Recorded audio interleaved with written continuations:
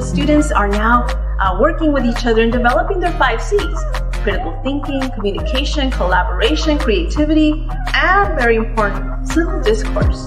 They need to learn how to get along and how to solve problems in a group setting. This could either be a gateways, so the submerged roads, or this could be like like rural housing. Oh, it's houses.